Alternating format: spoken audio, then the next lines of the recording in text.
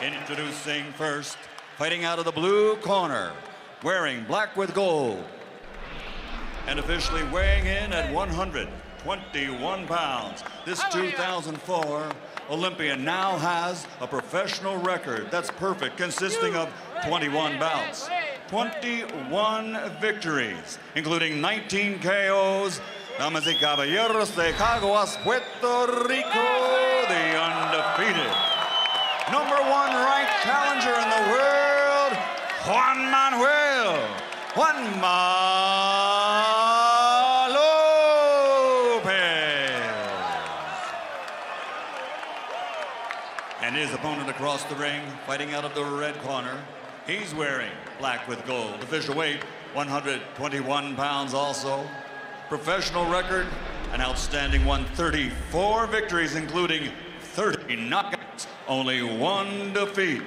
Damas y caballeros de Cuauhtémoc, Chihuahua, Mexico, the reigning, defending WBO Super Bantamweight Champion of the World, Daniel Ponce de Leon.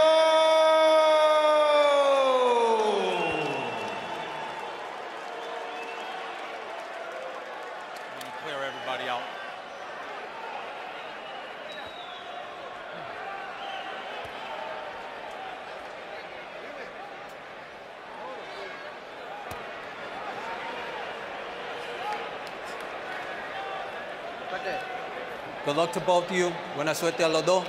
Toda la mano. Touch gloves.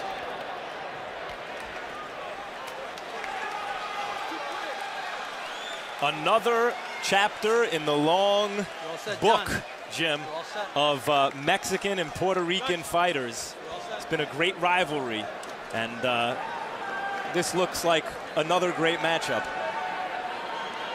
With 49 days to go until July 26th. The- yeah, how's that for a matchup? The Super Bowl, at least of this moment, for Puerto Rican versus Mexican fighters when Miguel Cotto takes on Antonio Margarito. So round one begins, and Emanuel, I don't think I've ever seen a stronger looking 122 pound fighter physically than Daniel Ponce de Leon. No, and he looks very strong and determined mentally also in this fight. He's punching a little shorter than he normally punches, and he's a lot more aggressive in, in the beginning with shorter punches.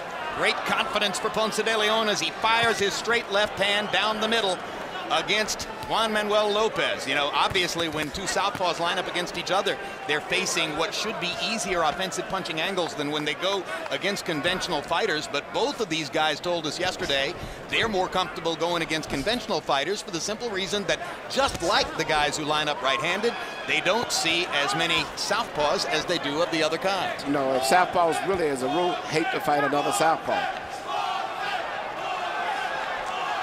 You heard the crowd support for Lopez as they were introduced.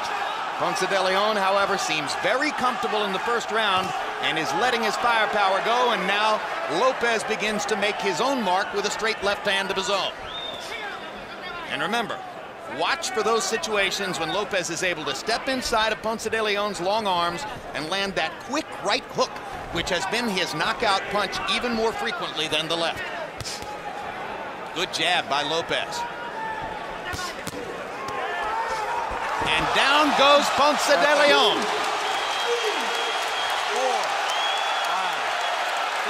His legs are gone.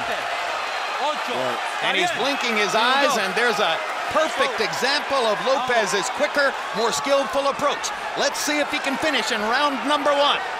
This is interesting because Ponce de Leon is not used to being on the defense. Ponce de Leon told us he's never been down before, Nope. not in an amateur or a professional fight. Lopez has got him going once again, and look at the confidence of Juan Manuel Lopez as he steps into the middle of Daniel Ponce de Leon's firepower, looking for the knockout. But 53 seconds yet to go. But he's placing Perfect hook, another perfect hook, short- another short- perfect hook. His punches are too short. Michael Ortega's got to make a decision now. Ponce de Leon doesn't have any legs. It's over.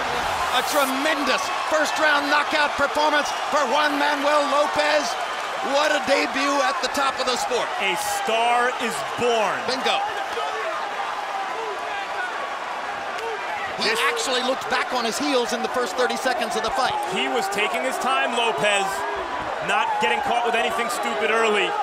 Juan Manuel Lopez has, for the last couple of years, been considered the best prospect out of Puerto Rico. He's not a prospect anymore, Jim. What a great right hook, Emanuel. Yeah, it's much shorter, accurate punches. Much, he looked very seasoned and patient for a young, inexperienced fighter. And Daniel Ponce de Leon wondering what hit him. As his career momentarily comes crashing down. Let's take a look at what happened. Good feint.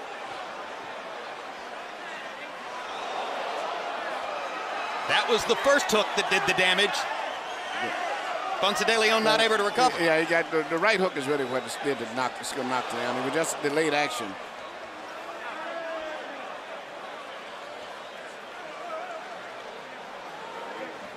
Knockdown number two, Emanuel. Right here, you see, but it's just a simple case of his punches being shorter and more accurate, and then the punches coming back from Ponce de Leon, who has to have more of a loop room, and as a result, Lopez's punches are getting in before. Another look at the second knockout. And in every one of these pictures, it's exactly what we set up for you, the notion of Lopez stepping inside and using that brilliant right hook to get it done. Yeah, he lands left hands, but it's really the power in the right hook that's the, The difference. right hook, but it is short, accurate punches. Lopez becomes a title holder in the 122-pound weight class and targets the Israel Vazquez's and Rafael Marquez's of the division. Let's go to Michael Buffer. Ladies and gentlemen, by way of Caesars Atlantic City here at the Boardwalk Hall, the fight comes to an end at 2 minutes, 25 seconds of round number one. The winner by TKO victory, still undefeated from Caguas, Puerto Rico, the new WBO Super Bantamweight Champion of the World, Juan Manuel. Juanma